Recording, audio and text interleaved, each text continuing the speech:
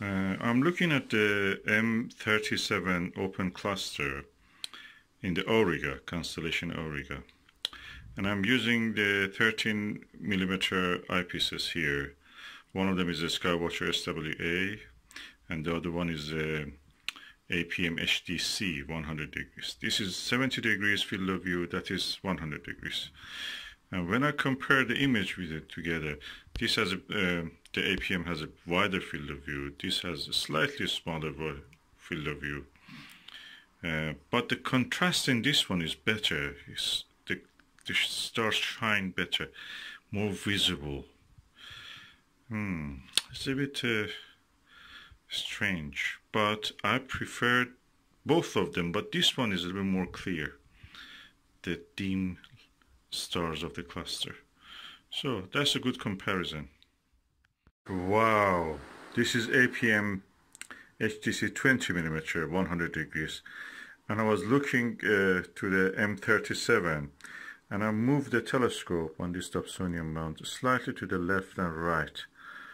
It was a panoramic view as if I'm in the spaceship. In front of me is just a big glass window and I'm looking at stars. That's the feeling that you get. I don't know, is it because there is a little distortion, but that's the that's how it looks. Wow. uh, I have here for the information, uh, I have 22 millimeter uh, SWA.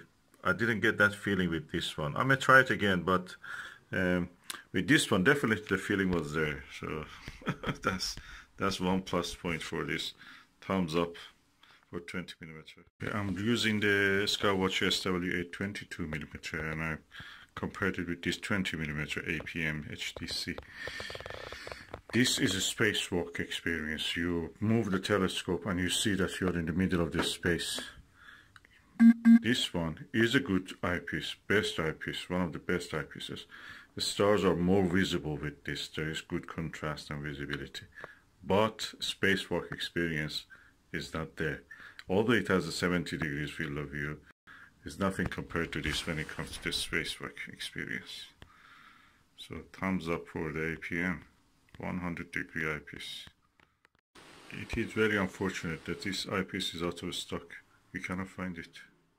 So if you find it, just buy it. This is good. This is good. I'm telling you, better than the Explore Scientific.